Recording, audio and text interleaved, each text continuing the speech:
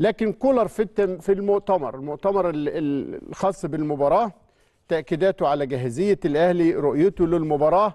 نشوف هذا المؤتمر الذي عقد قبل قليل في جروة.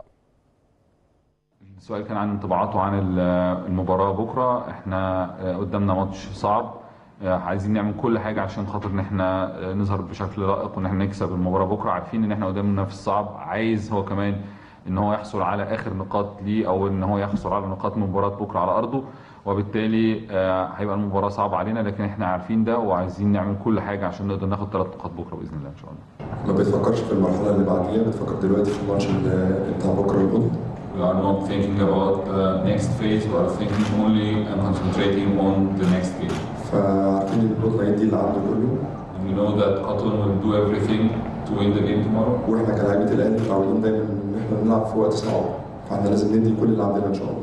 بالنسبة لسؤال كان عن آه، الأهلي ما كسبش ولا ماتش لغاية دلوقتي في دوري المجموعات خارج أرضه. هل هتبقى بكرة الحظوظ؟ والسؤال الثاني كان عن رأيه في فريق القطن. آه، أول سؤال هو قال آه حقيقي للأسف إحنا ما كسبناش ولا ماتش لغاية دلوقتي بره أرضنا لكن هنحاول بكرة إن هو يكون أول مكسب. آه، لكن إن- أنت بتحاول وبتسعى إن أنت تكسب خارج أرضك ولكن طبعا قدامك فريق تاني برضه عنده دوافع وعنده الرغبة إن هو يكسب على أرضه فبتبقى الأمور مش أسهل حاجة. لكن إحنا هنحاول نعمل كل حاجة وأهم حاجة بالنسبة لنا ماتش بكرة دايما إحنا بنفكر خطوة بخطوة ماتش بكرة هيبقى أهم ماتش.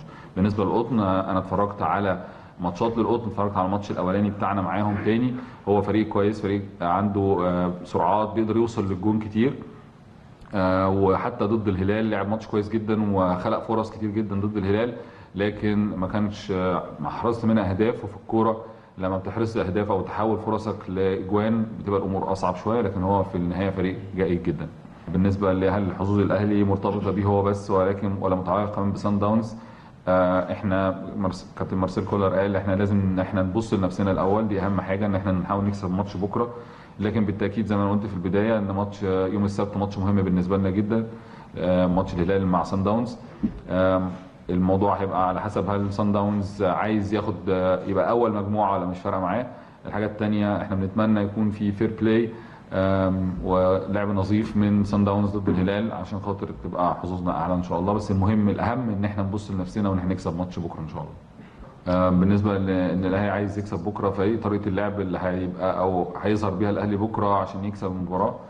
فالكوتش قال طبعا مش هتكلم عن طريقة لعب أو آه، إزاي هنلعب. إحنا عندنا هدف إن إحنا نكسب وإن إحنا في النهاية نحصل ثلاث نقاط. طريقة اللعب دي هنشوف إن شاء الله إحنا اللي هنحددها يعني. آه، السؤال كان بخصوص آه، إن الأهلي هزم الماتش اللي فات 5 2 من سان داونز والقطن كمان ان هزم الماتش اللي فات لكن آه، إدارة القطن حددت مكافآت عالية جدا. حوالي 400 ألف حاجة زي كده بالعملة بتاعتهم آه، عشان يكسبوا المباراة الأهلي إزاي إن هو آه، قدر يحفز اللعيبة أو يعمل لهم دوافع إنها تكسب الماتش.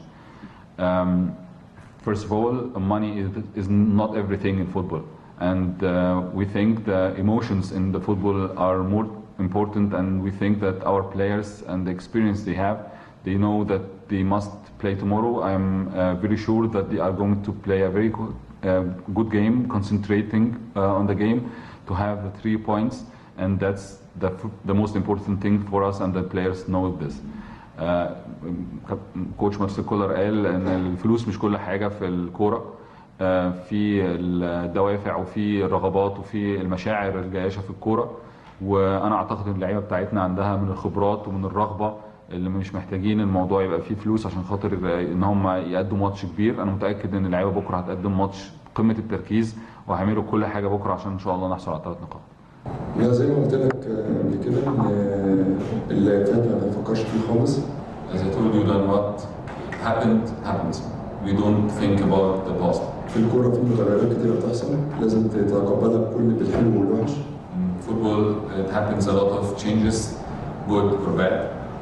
فكلاعيبه عندنا الحافز زي ما الكوتش قال إن إحنا متعودين في النادي الأهلي دايما إنك تلعب البطولة ما تلعبش في ماتش أو خسرت ماتش.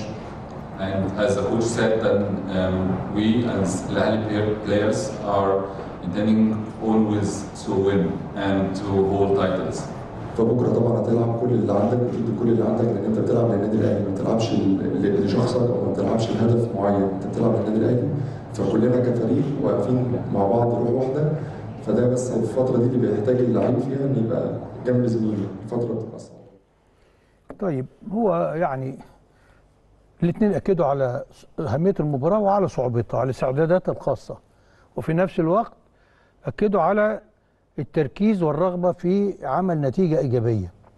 وإحنا نرجع نتكلم. أهم حاجة عندنا إن إحنا نؤدي بما يليق بالنادي الأهلي والتوفيق من عند الله سبحانه وتعالى وإن إحنا نحاول يكون مصيرنا في إيدنا لآخر وقت. بإذن الله تعالى طيب.